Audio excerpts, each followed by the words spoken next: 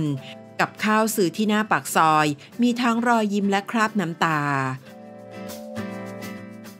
วันที่ 1 พฤษภาคม Facebook ของครูเต้ยที่ชื่อว่าครูเต้ยอภิวัตรได้โพสต์ภาพบรรยากาศงานแต่งงานที่ถูกจัดขึ้นเมื่อ 3 ปีที่แล้ว พร้อมกับได้ระบุข้อความว่า งานแต่งที่เรียบง่าย มีแขกร่วมงาน 16 คน ชุดสั่งมาแบบไม่ได้ลอง ไม่มีสินสอดที่มากมาย กับข้าวซื้อปากซอยหน้าบ้าน แต่เป็นวันที่เรามีความสุขมาก มีทั้งรอยยิ้มเสียงหัวเราะและมีน้ำตา ทุกอย่างไม่ได้หวือหวาหรูหราเหมือนคู่อื่น ๆ งานจัดขึ้นเพราะความรักอยากให้พ่อแม่รับรู้ และมั่นใจว่าเรารักลูกสาวท่านจริง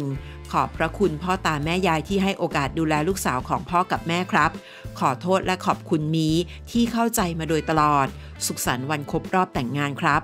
ปอลอตอนนี้มีใจละ เดี๋ยวหาวันแก้ตัวจัดงานเชิญพี่ๆน้องๆ มาร่วมงานกันนะครับ